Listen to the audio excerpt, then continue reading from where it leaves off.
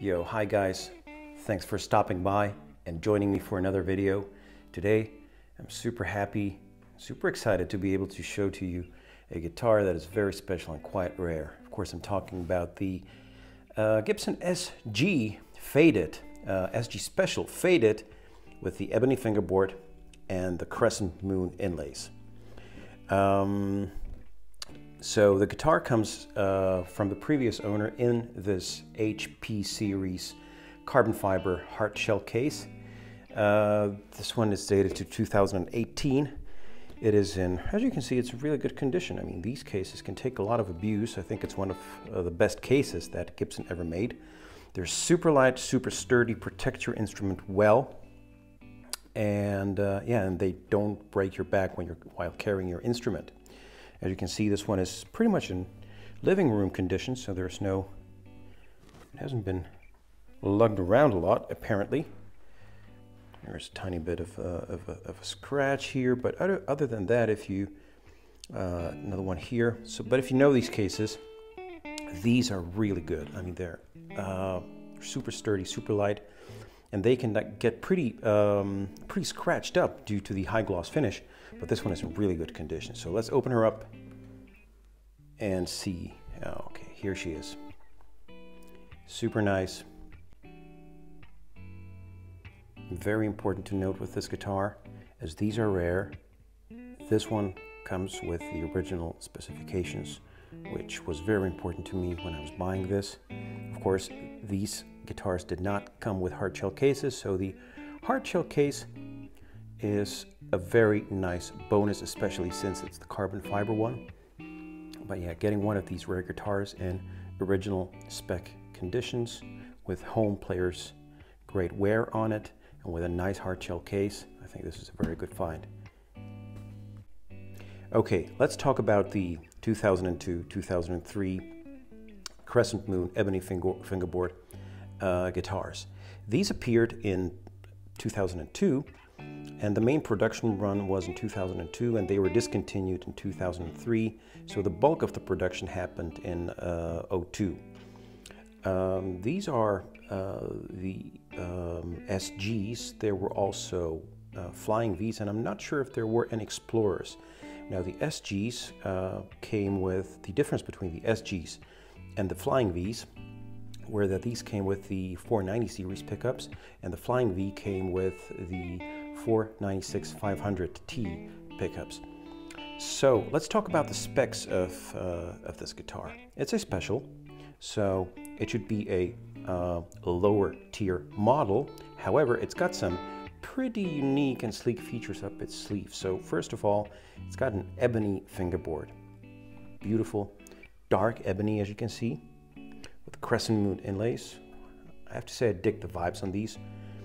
Um, this guitar, uh, I was like, I never thought, these are quite rare. I, I never thought one would pop up in my neck of the woods and as soon as it did, I immediately jumped on the opportunity and grabbed it. Um, the uh, fingerboard does not have binding, so it's an unbound fingerboard. Uh, as you can see, so no fret nips, um, what else is special about these specials? Um, the uh, logo, uh, the Gibson logo, is a is a decal. Truss cover, yeah, and the uh, the finish is called faded, which means, well, my understanding, this is pretty much the um, equivalent of the modern day or modern current actually um, finish uh, on the on the tributes, uh, the, the, satin finish. So it's, it's a thinner coat of nitro where you can actually, on uh, thinner coat of nitro applied to pore sealed wood. You can actually feel the grain of the wood. The coat is that thin. So it's not a thick, high gloss finish where you would pretty much, where, where the coat would cover over uh, the pores of the wood to the point where you no longer feel them and you just feel a highly polished surface. Now this one, you actually feel the grain of the wood. This has two sides to it. The one advantage is the, the feel is really nice. You can really feel the grain of the wood. Um, it just feels warmer, feels very nice in the hand. The flip side of that is the finish really bruises easily. But there's also two sides to that. So although you can really, I mean, it really wears down much quicker because it's thinner. And also, um, so it's, see it, it discolors. Although this is not, no part of on this guitar is worn down, worn down to the wood. But um, this finish uh, is, is due to the fact that it's thinner, it is it is softer and easy, more more vulnerable than than than a thick coat of of, of nitro. And uh, but on, on the other hand, the upside is that you are putting the impressions and dents right into the wood and not into the finish. So the finish does not crack because it's so thin. So there ton, there's a ton of indentations all over this guitar, as you will see. But um, here I have two bright lights shining down on this. I'm filming this from about, um, I don't know, um, 10 inches, 15 inches away, about 30 centimeters away. And you can barely tell there's anything. So, but there's plenty of wear marks. This is a player's grade guitar, although home player's grade, uh, but still. So yeah. Um, the other features and specs on this guitar are, so we got the Kluson Deluxe uh, tuners. Uh, we got the ebony fingerboard. We got the crescent moon inlays. We got the 490R and the 490T. We got the faded finish, which I just described. We got a Nashville style bridge, um, a tailpiece, toggle switch, and uh, four reflector knobs in silver. So that's pretty much it. Uh, let's take a look at the back of the guitar.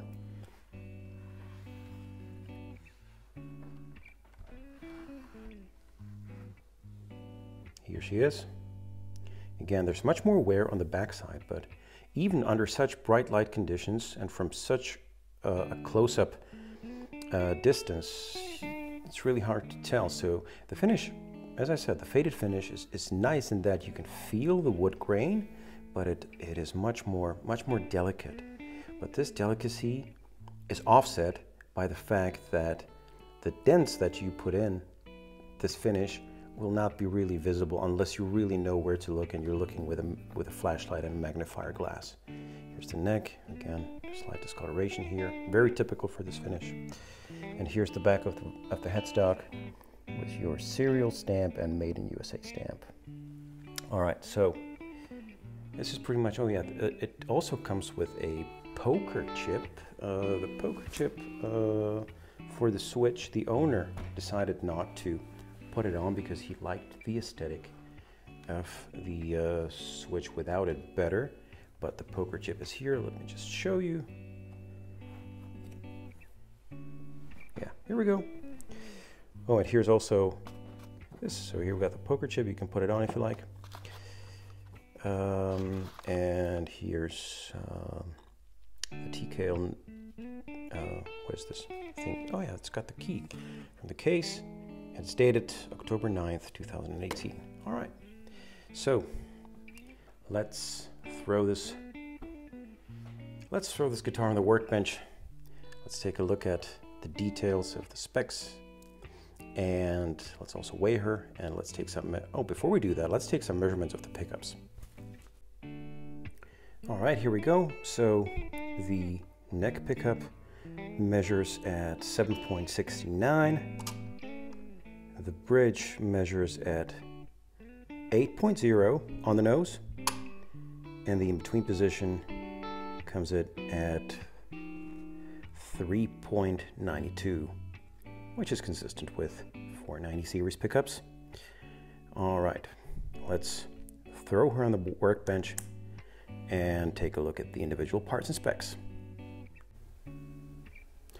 All right, ladies and gentlemen, let's have ourselves a look at this bad boy on the workbench. Let's start right here at the headstock. Let's examine the, the headstock and the tuners. The headstock, as you can see, is in good shape. The tuners as well.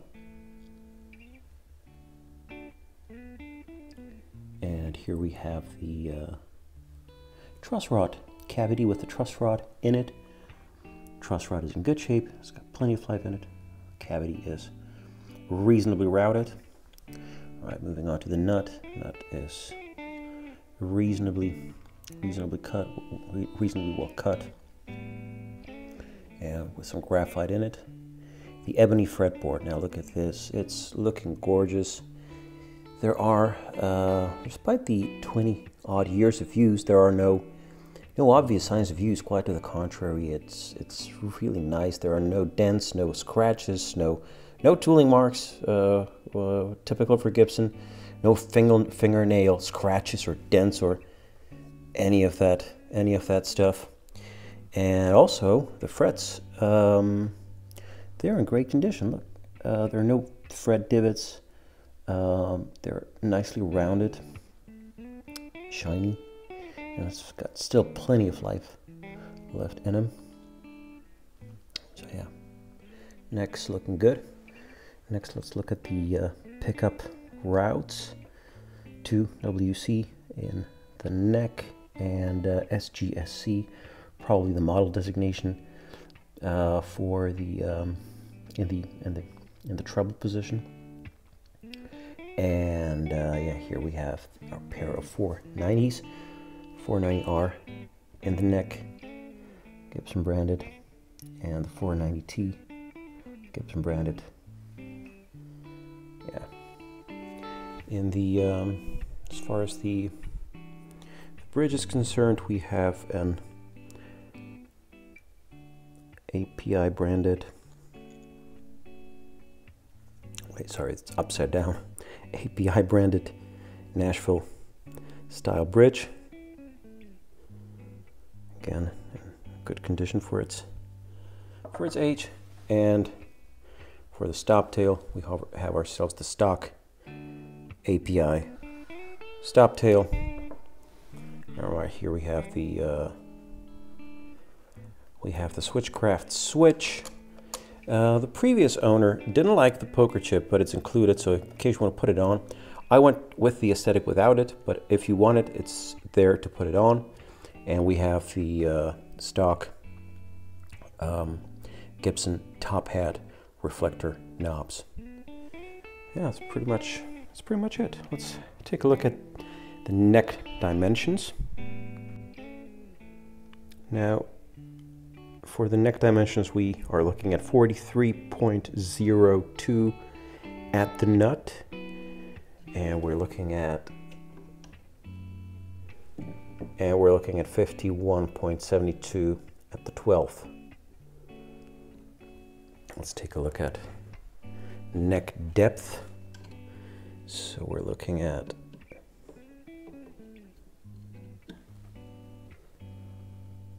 Twenty-one, twenty-one point one at the first and 25.1 at the 12th. So yeah, it's, it's a 50 style neck, which is, it's got a little more girth, which is actually what I prefer.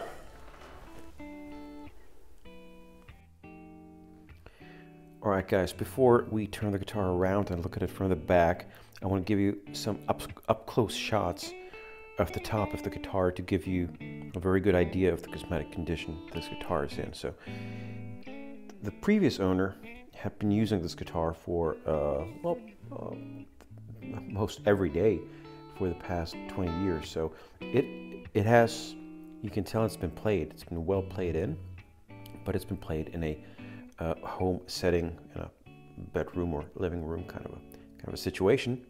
So um, it's not gigged to death um, and not abused where you would have pieces of wood showing. But let's take a look. So here's a bit of a discoloration consistent with wear from the movements of the arm, strumming the strings, and there are small dings and, and, small kind of kind of scratches or indentations in, in the in the lacquer. So let's take a look in, de in depth uh, and in detail on the uh, on the tiny dents, which there are quite a bit of. So there's one here on the horn. You can see.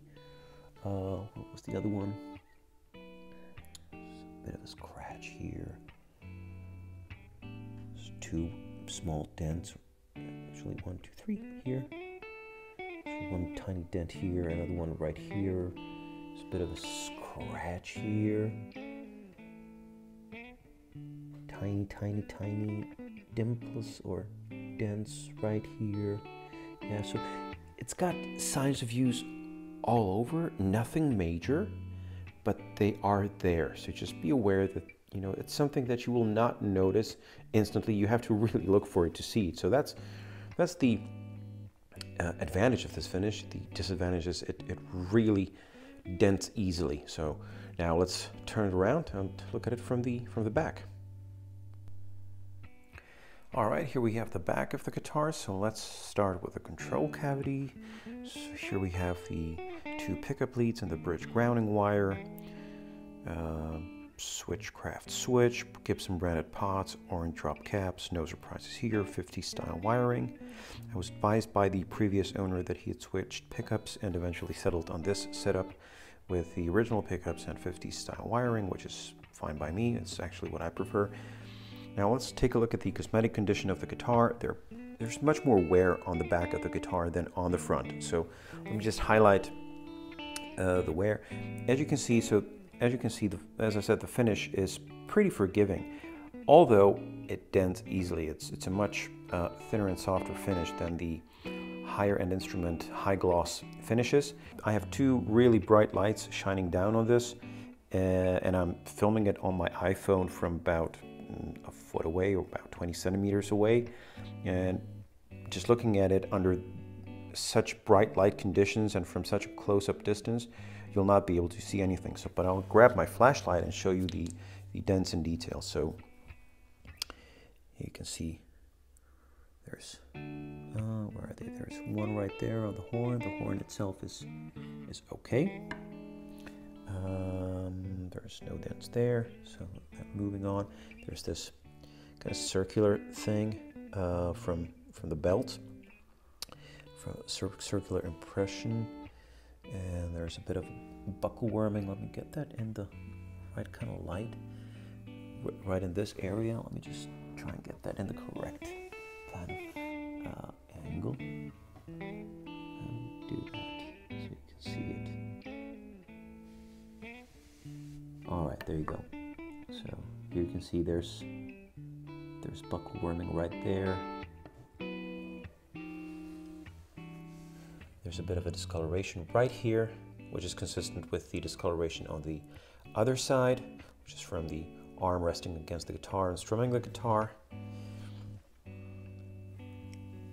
And again, there's a bit of a scratch right there, scratch right there, a tiny scratch there.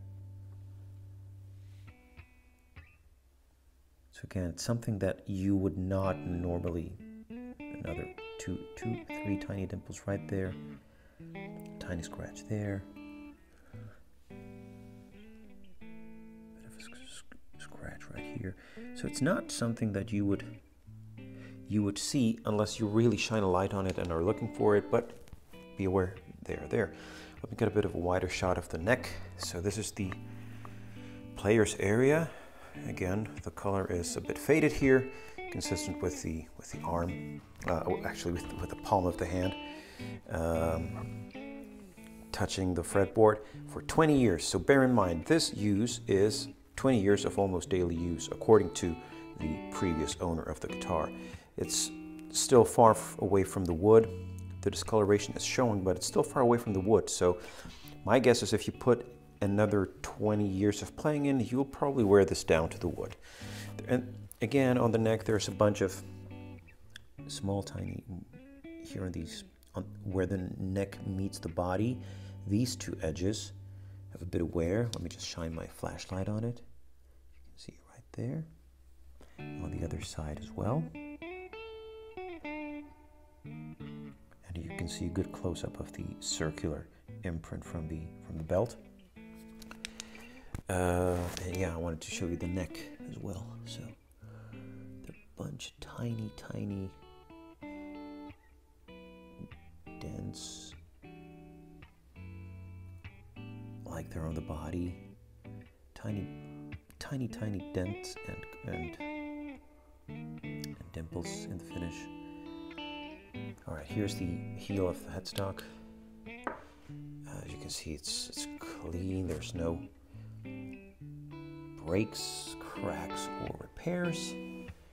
And here's your headstock. Here's the serial number stamp and the stamp made in USA. Uh, Deluxe Gibson branded tuners. And the headstock back is, is clean. There's a bit of wear right here at the edge, nothing major. And a bit of a dent right here, again, nothing major. So overall, good player's grade, better player's grade kind of situation. Let me just now take a look at the sides of the guitar because the sides also tend to take a bit of views so that you get a good look at the sides as well.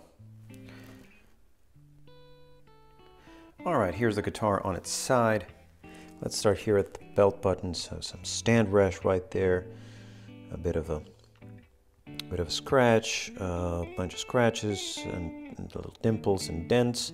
Nothing going through the wood. This one is. So I think the only one, or uh, there's one on, on the on the back that went through the wood, uh, but that's that's about it.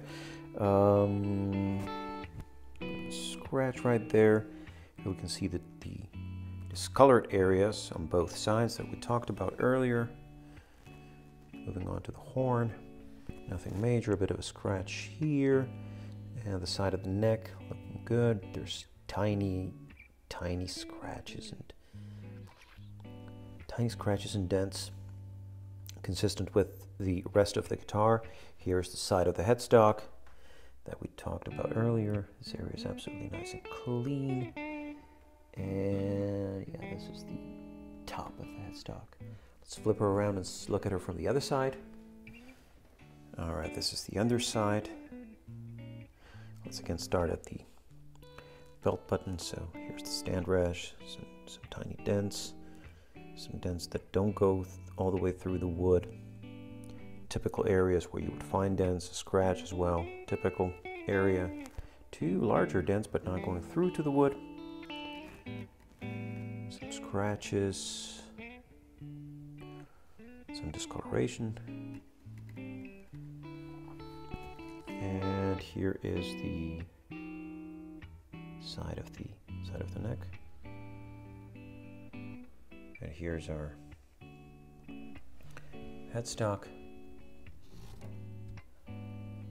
There we go. All right. All right. Now let's put her on the scale and see how much she weighs. All right, the weight is 2.9 pretty much on the nose.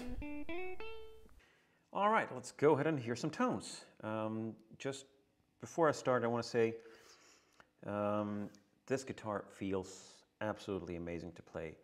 It is set up with a super low, very nice action. This is a John Petrucci signature. I think it's a uh, Jazz 3, which is 1.38 or something. Yeah, I think it's 1.38. And it doesn't slide under the low E or the high E. Uh, it gets caught up in there, which tells you that the action is way lower. It's set up at about 1.2, both on the bass and the treble side. Feels absolutely, absolutely smooth. Effortless to play. Very nice. I will be going through the deluxe reverb, the special edition in wine red, and then for the cleans and for the for the for the dirty tones, I'll be using the D&M Overdrive. All right, let's hear the tones. Let's start at, with the volume at about seven with the, uh, with the neck and tone all the way up and, and let's see where it takes us.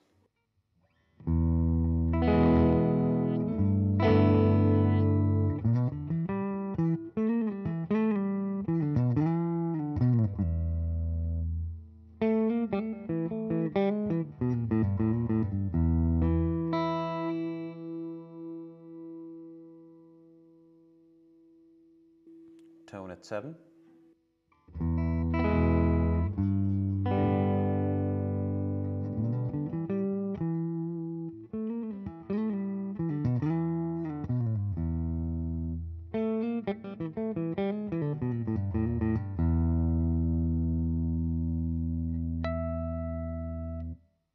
Okay. Um,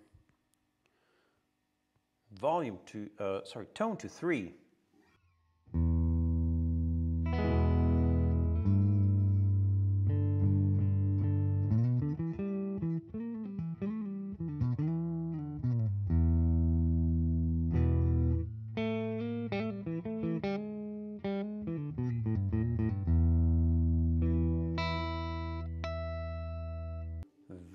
Nice. All right, let's move on with the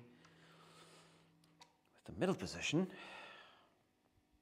Both bridge and neck at seven.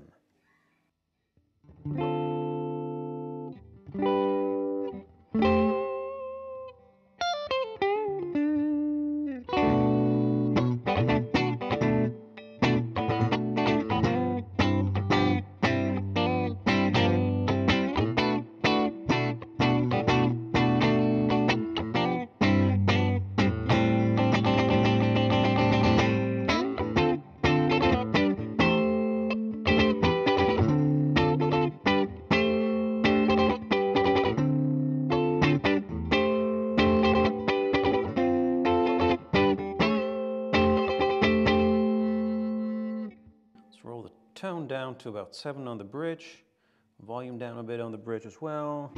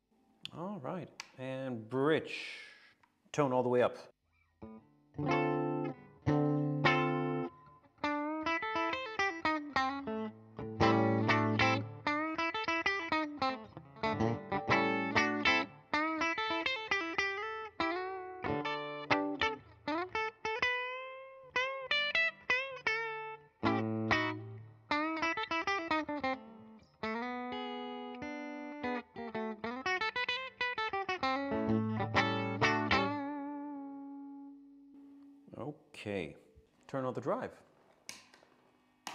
See where that takes us. Start with the neck and tone both tones all the way open.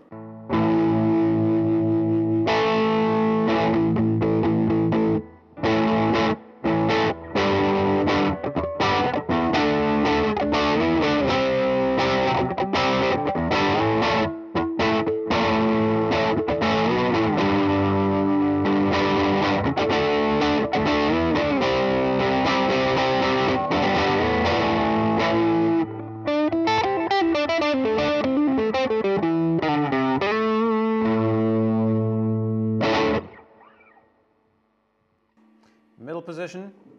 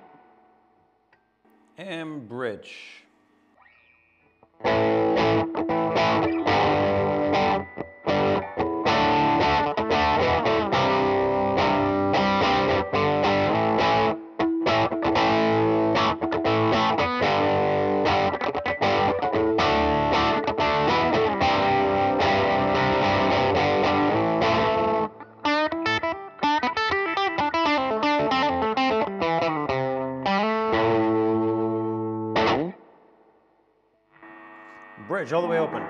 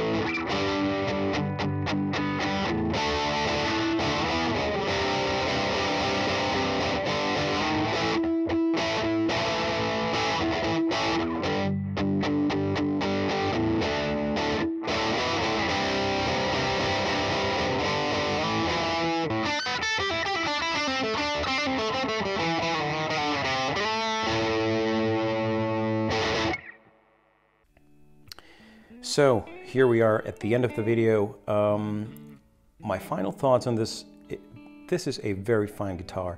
The faded finish feels really good in your hand. It's really forgiving. Although delicate, the ebony is really as dark and without pores, uh, which is one of the premium kind of ebonies these days because, because the ebony now being used is more of the streaky variety with more pores and this one is really dense and really dark.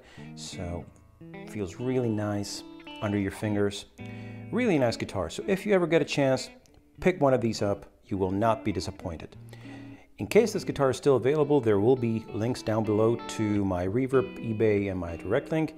In case not I hope this video helped someone and you learned something because I definitely learned something and that is making a video with a teardown of a guitar and a, and a demonstration of a guitar is definitely harder than it looks. I tried my damn best to make this look and sound as good as I can and it still looks and sounds like crap. So yeah, in case you made it all the way to the end of the video, please do like it and then join me for the next one. Thank you. Peace out.